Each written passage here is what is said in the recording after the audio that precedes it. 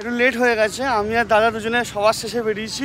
Mobile হচ্ছে পাঁচ টাকা পিস ভিআইপি টিকিট কাটতে হলে এখান থেকে ঢুকতে হবে ঢুকে বাঁ দিকে যেতে হবে। খুব ভালো করে দর্শন হলো বাবার। এরকম একটা প্রসাদ দেবে এটা ফ্রি প্লাস তোমাদেরকে টিকা লাগানোর একটা দেবে। তোমাদেরকে কিছু টিপস অ্যান্ড ট্রিক্স বলে দিই। মেন সমাধি দর্শন ছাড়াও এখানে মুখ দর্শন হয়। জলখাবার দিয়ে দিয়েছে রুমেই দিল।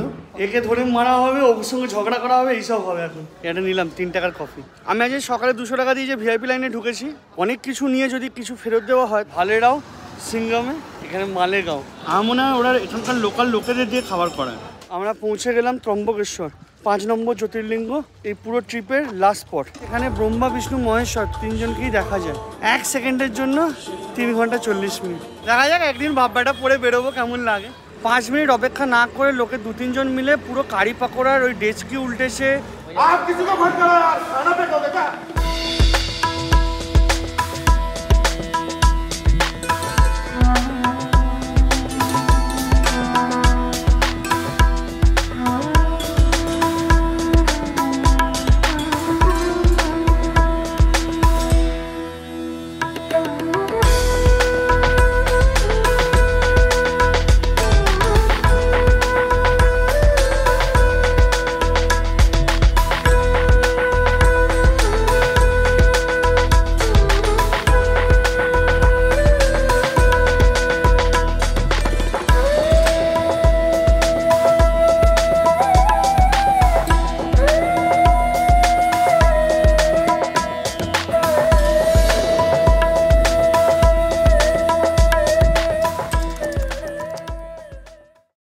হ্যালো বন্ধুরা welcome to rider scape YouTube channel তো এখন বাজে হচ্ছে ছটা পনেরো।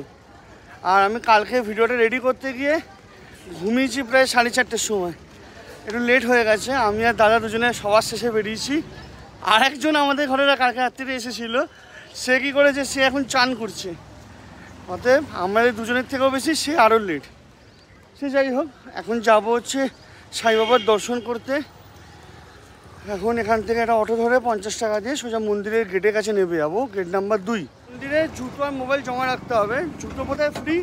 আর মোবাইল হচ্ছে পাঁচ টাকা পিস চলো।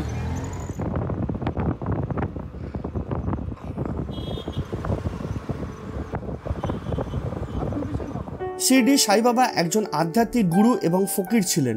সাই বাবা ধর্ম বা বর্ণের ভিত্তিতে বৈষম্যের নিন্দা করেছেন। হিন্দু এবং মুসলিম উভয়ই তার ভক্ত ছিল। তিনি যে মসজিদে থাকতেন, সেই মসজিদের হিন্দু নাম দ্বারকাময়ী দিয়েছিলেন।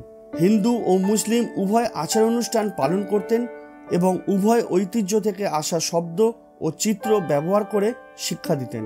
শ্রী সাই সচরিতা অনুসারে তার হিন্দু ভক্তরা তাকে হিন্দু দেবতা, দত্তাত্রেয়ের অবতার বলে বিশ্বাস করতেন। ভক্তদের উদ্দেশ্যে তার প্রিয় বাণীগুলির মধ্যে ছিল, আমার দিকে তাকাও, আমি তোমাদের দিকে তাকাবো। এবং আল্লাহ তেরা ভালা করেগা। পনেরোই অক্টোবর উনিশশো আঠারো সালে তিনি পরলোক গমন করেন এবং উনিশশো বাইশ সালে সাই বাবার সমাধির ওপর এই মন্দির নির্মাণ করা হয়। মন্দিরে প্রবেশের পথে মোবাইল, ইলেকট্রনিক গ্যাজেট, ব্যাগ ইত্যাদি জমা রাখার সুবন্দোবস্ত রয়েছে। এছাড়াও চাইলে তোমরা বাইরের দোকান থেকে প্রসাদ কিনেও সেখানে জুতো, মোবাইল ইত্যাদি রাখতে পারো। মন্দিরে পুজো দিতে চাইলে সকালে দুটো ব্যাচ আছে, সাতটা থেকে আটটা আর নটা থেকে দশটা। মূল্য একশো এক টাকা। এখানে আরতি দেখার জন্য প্রচুর মানুষের ভিড় হয়। দিনে চারবার আরতি হয়।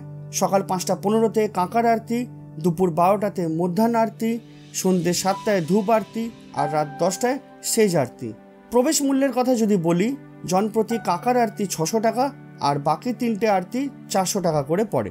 সাধারণ লাইনের পাশাপাশি এখানে ভিআইপি দর্শনের জন্য সকাল ছটা থেকে দশটা, দুপুর একটা থেকে চারটে আর রাত আটটা অবধি প্রতি এক ঘণ্টা হিসাবে স্লট বুকিং করা যায়।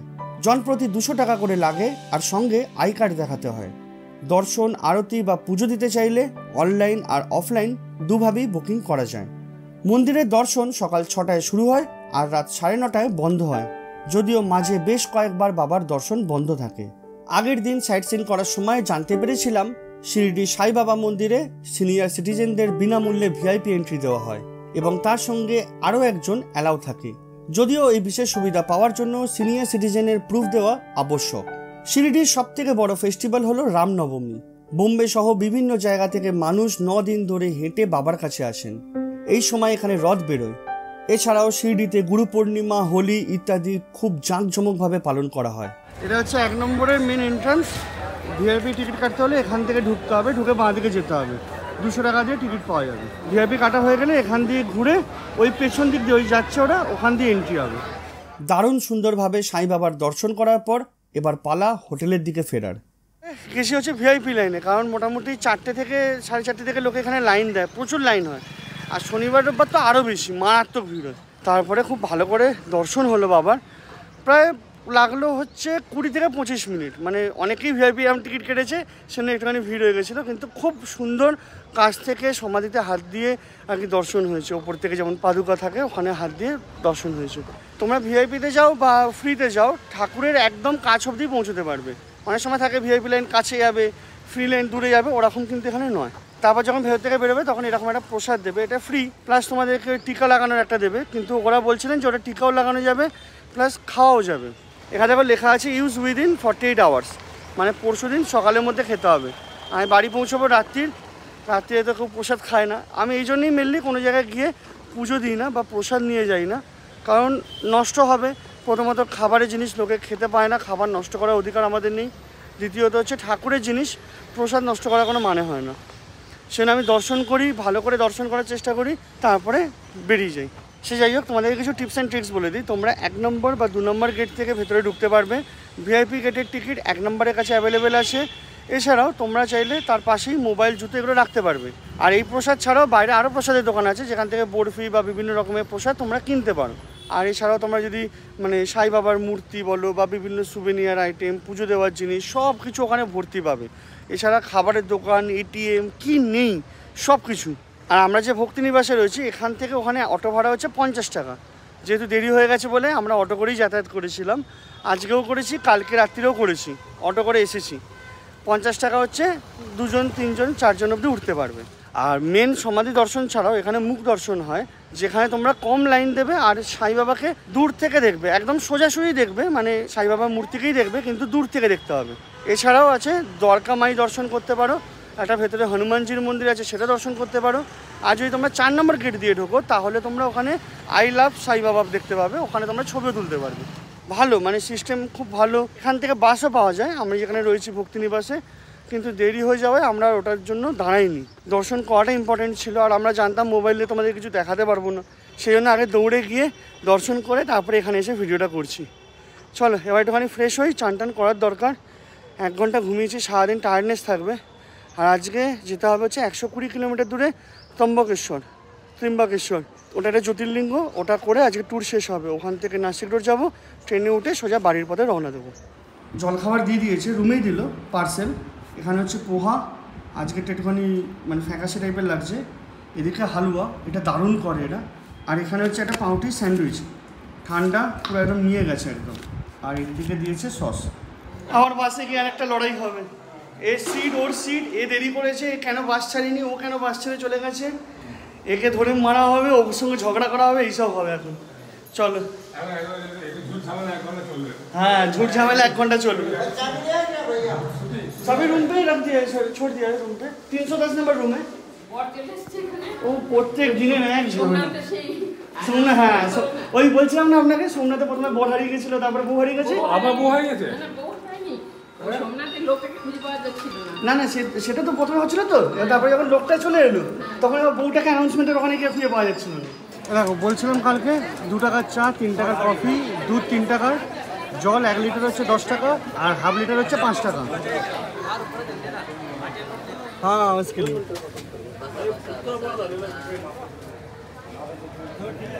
কাল থেকে ভাবছিলাম এই দু টাকার চা বা তিন টাকার কফিটা খাব।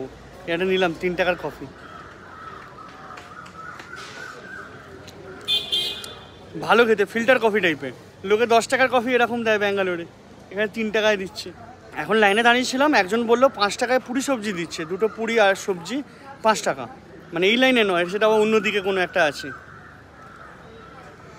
এই ফেসিলিটিগুলো খুব ভালো। আর বলতে পারো, আমি আজ সকালে দুশো টাকা দিয়ে যে ভিআইপি লাইনে ঢুকেছি, আমি সত্যি কথা বলতে ভিআইপি লাইনের এগেনস্টে আর এই রকম ঘটনাগুলোর জন্য না টাকা মানে দিতেও গায়ে লাগে না। মানে আমি ধরো কোনো একটা জিনিস দিচ্ছি, এখানে একটা সাবসিডি ওয়াইজ কিছু একটা জিনিস লোকের কাছে মানে অ্যাভেলেবেল করছে আর কি অ্যাভেলেবিলিটি রাখছে, সেটা অনেকটা বেটার হ্যাঁ এবার তোমাদের মধ্যে কেউ কেউ থাকবে, তারা বলবে যে ওরা তো অনেক ডোনেশন পায়, অনেক কিছু নিয়ে যদি কিছু ফেরত দেওয়া হয়, তাতে ওই দুঃখটা অতটা হয় না। সে যাই হোক, বাস আমাদের রেডি এবার জিজ্ঞাসা করি যে আজকে আবার বাস চেঞ্জ হবে না, ওই বাসেই যাব। তারপরে বাসে ওটা হবে। আর কালকে পুরো জার্নির সময় আমি জানলা ধার পাইনি। আজকে কি হবে জানি না, যদি কালকের মতো সিট বলে তাহলে আজকেও জানলা ধার পাবো না। ফাইনালি দেড় ঘণ্টা বসে থাকার পর বাস ছাড়লো। আর তার মধ্যে সিট নিয়ে ঝামেলা, এই বাসে লোক কম, ওই বাসে লোক বেশি। এই হোটেলের চাবি ফেরত দেয়নি। মাথা খারাপ হয়ে গেছে পুরো। চলো, এবার একটুখানি ঠান্ডা হাওয়া খাই। তোমার রাস্তা এনজয় করো। একবারে তিনবাকেশ্বরে গিয়ে তোমাদের সাথে কথা হবে।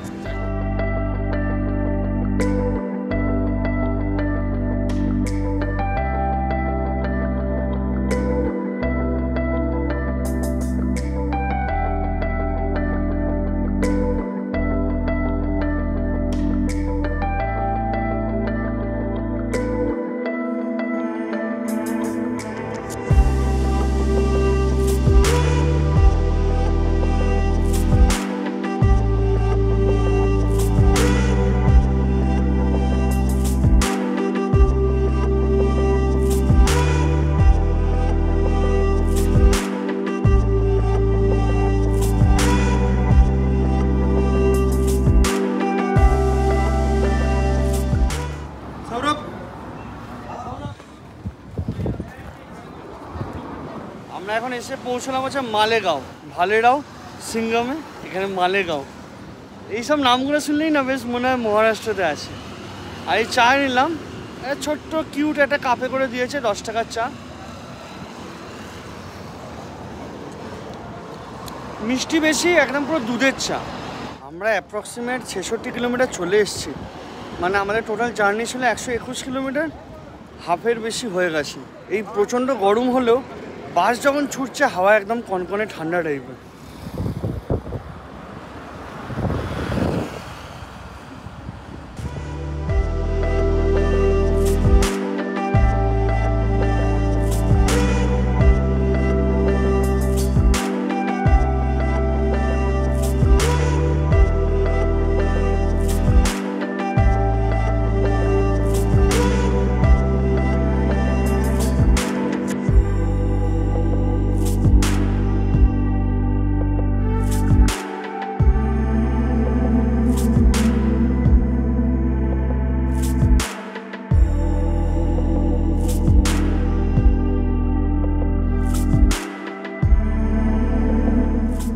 এখন বাজে একটা তেত্রিশ, আমরা এলাম ভক্তিধাম।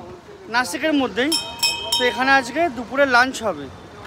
কৈলাস মঠ ট্রাস্ট পাশে আসছিলাম যখন, তখন একজনের খবর এলো বাড়ি থেকে যে মা মারা গেছে।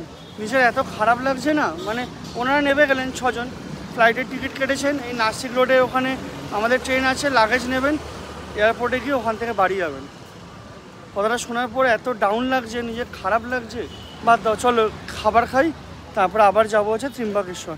আমি যদি উচ্চারণ ভুল করি, ত্রিম্বাকেশ্বর, অনেকে ত্রম্বাকেশ্বর বলে, তো আমাকে মাফ করো, আমি যেরকম দেখেছি সেই অনুযায়ী বলছি।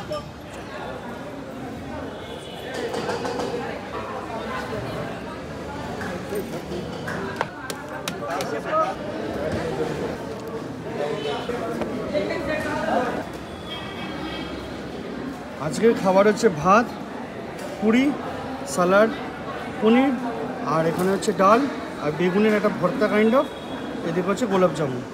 যখনই এইসব জায়গায় দাঁড়ায় আমার মনে হয় ওরা এখানকার লোকাল লোকেদের দিয়ে খাবার করায়। মোটামুটি খাবারের টেস্ট একটু হলেও চেঞ্জ হয়। চলো খেয়ে নিই তারপরে কথা হবে। আজকে তাও নিয়ম ফলো হচ্ছে। মোটামুটি কুড়ি মিনিটের মধ্যে ফিফটি পার্সেন্ট লোক বাসে। এখনও বাকি আছে মানে লোক আসতে। আর খাবারের কথা যদি বলি আজকের হিট খাবার ছিল হচ্ছে বেগুনের ভর্তাটা।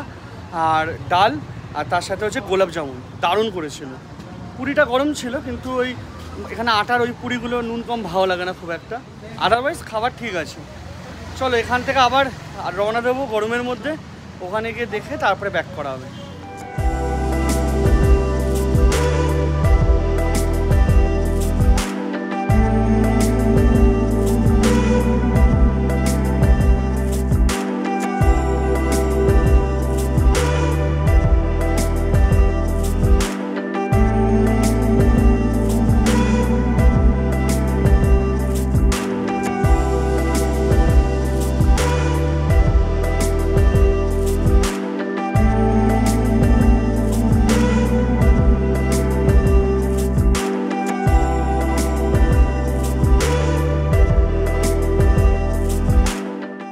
সতেরো, আমরা পৌঁছে গেলাম ত্রম্বকেশ্বর বা ত্রিম্বকেশ্বর, যেটা আমি এতক্ষণ ধরে বলে আসছি।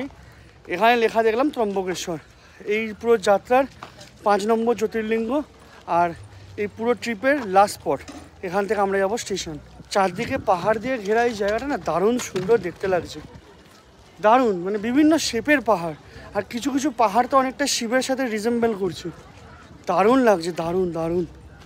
দ্বাদশ জ্যোতির্লিঙ্গের অন্যতম শ্রী ত্রম্বকেশ্বর শিব মন্দির মহারাষ্ট্রের নাসিক জেলার ত্রিম্বক শহরের একটি প্রাচীন হিন্দু মন্দির, যা নাসিক শহর থেকে প্রায় আঠাশ কিলোমিটার এবং নাসিক রোড থেকে প্রায় চল্লিশ কিলোমিটার দূরে অবস্থিত। বর্তমান মন্দিরটি মুঘল শাসক ঔরঙ্গজেবের দ্বারা ধ্বংস হওয়ার পর পেশোয়া বালাজি বাজিরাও নির্মাণ করেছিলেন। হনুমানের জন্মস্থান অঞ্জনেরি পর্বত মাত্র সাত কিলোমিটার দূরে অবস্থিত। পৌরাণিক কাহিনী অনুসারে ব্রহ্মাদেব এখানে একটি পর্বতে শিবকে খুশি করার জন্য তপস্যা করেছিলেন, যা পরে ব্রহ্মগিরি পর্বত নামে পরিচিত হয়। একসময় এই পাহাড়ে গৌতম ঋষির আশ্রম ছিল। গো হত্যার পাপ থেকে মুক্তি পাওয়ার জন্য তিনি কঠিন তপস্যা করে মহাদেবকে খুশি করেছিলেন। ঋষি গৌতমের অনুরোধে ভগবান শিব ত্রিমূর্তি হয়ে এখানে জ্যোতির্লিঙ্গ রূপে সিংহাসনে অধিষ্ঠিত হন। তখন থেকেই এই স্থানটি ত্রিম্বাকেশ্বর নামে পরিচিত হয়। এই জ্যোতির্লিঙ্গের অসাধারণ বৈশিষ্ট্য হল লিঙ্গের তিনটি মুখ, ব্রহ্মা, বিষ্ণু এবং শিবকে চিত্রিত করে, যা পুরো জগতে একমাত্র এখানেই আছে। অতিরিক্ত জল ব্যবহারের কারণে লিঙ্গটি ক্ষয় হতে শুরু করেছে। বলা হয় এই ক্ষয় মানব সমাজের ক্ষয়প্রাপ্ত প্রকৃতির প্রতীক। লিঙ্গগুলি একটি রত্নখচিত মুকুট দ্বারা আবৃত যাত্রীদেবের সোনার মুখোশের ওপর স্থাপন করা হয়। এই মুকুটটি পাণ্ডব যুগের বলে মনে করা হয়। এবং এতে হীরা পান্না সহ অনেক মূল্যবান পাথর রয়েছে। প্রতি সোমবার বিকেল চারটে থেকে পাঁচটা পর্যন্ত এই মুকুটটি দেখানো হয়। এই মন্দিরের আরেকটি বৈশিষ্ট্য হল, এই জ্যোতির্লিঙ্গের ত্রিকাল পুজো করা হয়, যা স্থানীয় তথ্য অনুসারে সাড়ে তিনশো বছরেরও বেশি সময় ধরে চলে আসছে। এটি বারোটি জ্যোতির্লিঙ্গের মধ্যে একমাত্র একটা মন্দির, যেখানে এই পূজা সম্পন্ন করা হয়। ভারতের দ্বিতীয় দীর্ঘতম নদী, পবিত্র গোদাবরীর তিনটি উৎস ব্রহ্মগিরি পর্বত থেকে উৎপন্ন হয়েছে। মতান্তরে এই শিবলিঙ্গ থেকে অবিরাম গোদাবরীর প্রবাহ শুরু হয় বলে বিশ্বাস করা হয়। মানা হয় গঙ্গা যখন দ্বিতীয়বার পৃথিবীতে অবতরণ করেন, তার নাম হয় গোদাবরী, যা দক্ষিণে প্রবাহিত হয় বলে দক্ষিণ গঙ্গা নামেও পরিচিত। মন্দির প্রাঙ্গণে কুশাবর্ত কুণ্ড আছে, যা শ্রীমন্ত সর্দার রাও সাহেব পার্নেকার দ্বারা নির্মিত। ভক্তরা এই কুণ্ডকে গোদাবরী নদীর উৎস মনে করে এই পবিত্র জল মাথায় দিয়ে পাপ খণ্ডন করেন। এখানে গঙ্গা, জলেশ্বর, রামেশ্বর, গৌতমেশ্বর, কেদারনাথ, রাম, কৃষ্ণ, পরশুরাম এবং লক্ষ্মীনারায়ণের মূর্তি রয়েছে।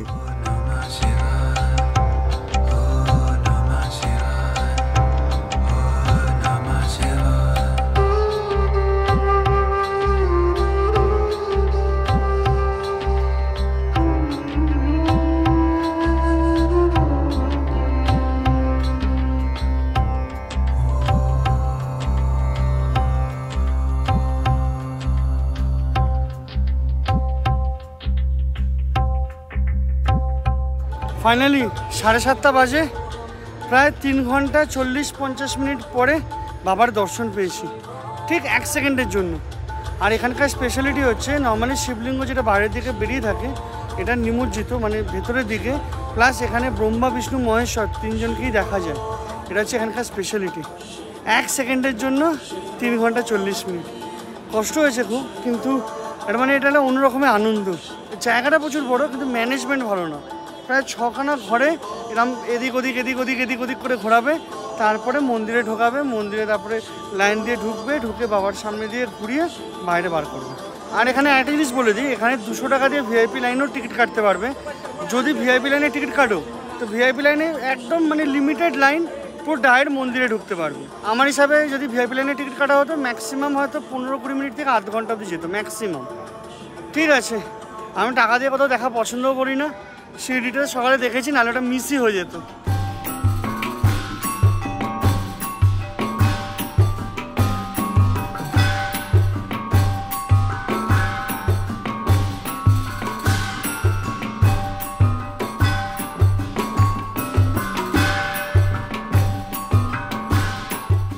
আমরা একটা দোকানে জুতো রেখেছিলাম, পাঁচ টাকা করে। ওখান থেকে একটা কফি নিলাম, কুড়ি টাকা। আর চা হচ্ছে পনেরো টাকা করে। দারুণ করেছে। একটু মিষ্টি বেশি, কিন্তু খুব ভালো। আর ইন জেনারেল মানে আমার পুরোনো দিনের কথা মনে পড়ে গেল, আমি যখন অফিসে কাজ করতাম কফি খুব স্ট্রং নিতাম, কিন্তু চিনি দুটো করে দিতাম, মিষ্টি হয়ে যেত। উনত্রিশে মে, সোমবার, তাই ভিড় বেশি। জেনারেলি কিন্তু মানে সোমবার, রোববার, শনিবার, এই তিন দিনই ভিড় হয় বেশি, বাকি দিনগুলো তুলনামূলক ফাঁকা থাকে। আর তোমরা যদি চাও, তোমরা কিন্তু জুতো মানে অফিসিয়াল কাউন্টারে ফ্রিতেও রাখতে পারো। এছাড়া আর একটা জিনিস দেখলাম এখানে অনেক মানে দোকানে আর কি লেখা আছে, মোবাইল রাখতে পারেন, ব্যাগ রাখতে পারেন। কিন্তু ভেতরে ঢোকার সময় কিন্তু মোবাইল নিয়ে কিছু বলেনি। মোবাইল পকেটে নিয়েই ঢুকেছি ভেতরে। আর ইনফ্যাক্ট দোকান থেকেও বলেছিল যে মোবাইল নিয়ে কিছু বলবেন। আর এছাড়াও ভেতরে সব রকমের সুবিধে আছে, যখন লাইনে দাঁড়াবে মানে মোটামুটি ছটা ঘর আছে, ওই ঘরগুলোর ভেতরে কিন্তু জলের জায়গা রয়েছে। তোমরা লাইনে দাঁড়িয়ে থাকা অবস্থায় জল ভরতে পারবে, ঠান্ডা জল। ওভারঅল মানে ফেসিলিটিগুলো ভালো, কিন্তু ম্যানেজমেন্ট আমার মনে হলো না খুব একটা ভালো বলে। কারণ সোমনাথে অত ভিড় হয় ওখানে ব্যবস্থা দেখো কি ফাস্ট হয়ে যায়। এখানে একটু মানে আর কি ঠিকমতো করতে পারতো।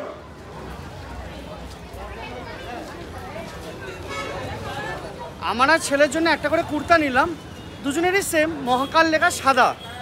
ওরটা একশো টাকা, আমারটা দেড়শো টাকা। দেখা যাক, একদিন ভাববাটা পরে বেরোবো, কেমন লাগে। এবার দোকানপত্র প্রচুর রয়েছে ইনফ্যাক্ট থাকার জন্য হোটেল পাবে। আর বাজেটের মধ্যেও যা শুনলাম, মোটামুটি আটশো, নশো, হাজার এরকম রুম পাওয়া যাবে। Attach bathroom, toilet, luxury room সব লেখা রয়েছে এখানে। পরে হবে, ভালো করে এসে আবার এক্সপ্লোর করব। এখানে আরও অনেকগুলো মন্দির আছে আশেপাশে। ওপরে অন্নপূর্ণা মন্দির রয়েছে। এখানে রয়েছে হচ্ছে শ্রী নিবৃত্তিনাথ টেম্পেল এটাও রয়েছে। তারপরে আরও একটা দুটো মন্দির রয়েছে আশেপাশে শুনলাম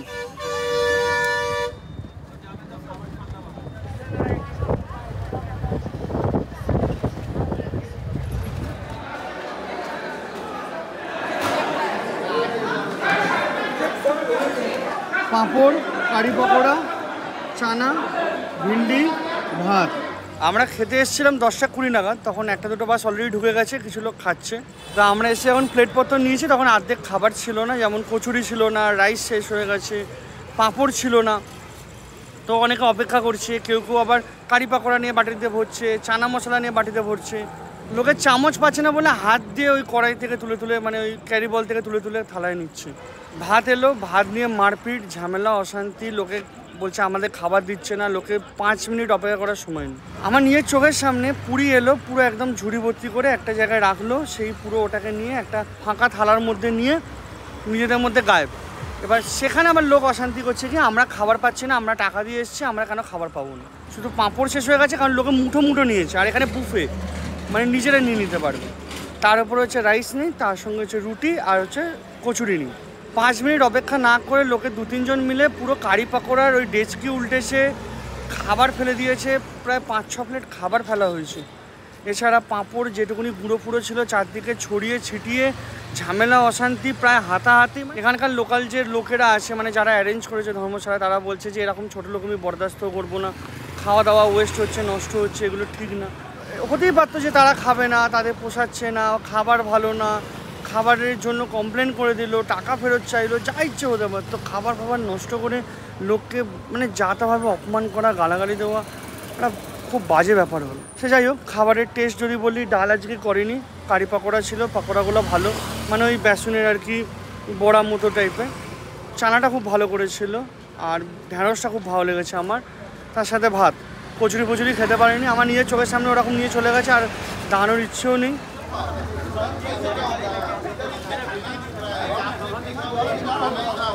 खाना क्या भी था खाना क्या कुत्ते वाला खाना नहीं खाते क्या खाने देते खाना फेंकने का तो राइट नहीं है आपको दिक्कत है कंप्लेन करो समझ गए आपको वो राइट नहीं है आप किसी को फोन करो यार खाना फेंकोगे क्या फेंकना गलत है ना और आपके चक्कर में दूसरे लोग भी रह जाएंगे कितने लोग पागल है बिहार के लोग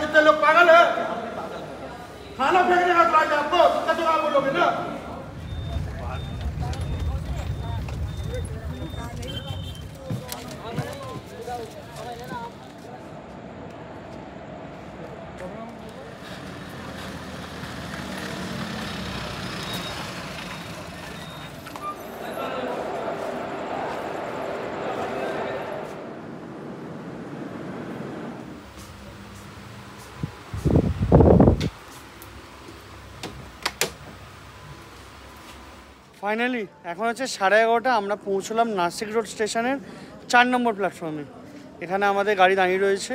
সকালে ওই দাদারা গেছিল এমার্জেন্সি কারণে যেটা বললাম। তো সেই জন্য হয়তো এখানে লেগেছে, তারপর থেকে এখানেই রয়েছে। খাবার ষড়যন্ত্র নিয়ে একটা নতুন ডেভেলপমেন্ট হয়েছে। প্রথমত যারা খাবার করেছে মানে ওই ধর্মশালা টাইপের তাদেরও দোষ আছে, তারা কম খাবার করেছে। প্লাস যারা উল্টেছে, তারা তো রয়েছে। আমাদের যেখানে ম্যানেজার রয়েছে, সে গিয়ে চিৎকার, চেঁচামেচি, পরে দেখলাম ঠান্ডা হয়ে গেল। মানে একদম বলতে গেলে কেমন জানো তো মানে অভদ্র একটা পরিস্থিতি তৈরি হয়েছিল। সারাদিনে প্রায় একশো ষাট সত্তর কিলোমিটারের বাস জার্নি অতক্ষণ দাঁড়িয়ে ঠাকুরের দর্শন, তারপরে রোদ্দুর, গরম, এই ঝামেলা, অশান্তি সব মিলিয়ে না খুব টায়ার্ড লাগছে সব। মানে শুধু আমি বলে না, সবাই টায়ার্ড আজকে। আর লাস্ট দিন বলেও হতে পারে, লোকের জোশ একটু কম আছে। সে যাই হোক, কামরাতে উঠলাম লাইট ফাইট জ্বাললাম, জিনিসপত্র আছে, কোনো অসুবিধে নেই। আর আমাদেরকে দিয়েছিল হচ্ছে সোন পাপড়ি লাস্টে মানে প্রথমের দিকেও ছিল, সব নিয়ে ফাঁকা করে দিয়েছে। পরের দিকে আমি দেখতে পাই আবার দোকানে সোন পাপড়ি খেলাম। আজকের দিন এখানেই শেষ। এবার ট্রেন ছাড়বে, ঘুমোতে যাব। আজকের মতো ভিডিওটা এখানেই শেষ করছি। যদি তোমাদের ভিডিওটা ভালো লাগে, তাহলে লাইক করো শেয়ার করো চ্যানেলটাকে সাবস্ক্রাইব করে নিও। যদি তোমাদের কোনো মন্তব্য থাকে বা প্রশ্ন থাকে, অতি অবশ্যই কমেন্টে জানাবে। আর যদি ভিডিওটা ভালো না লাগে, তাহলে ডিসলাইক করতে পারো, কোনো অসুবিধা নেই। চ তাহলে আজকের মতো এটুকুনি দেখা হবে পরের ভিডিওতে।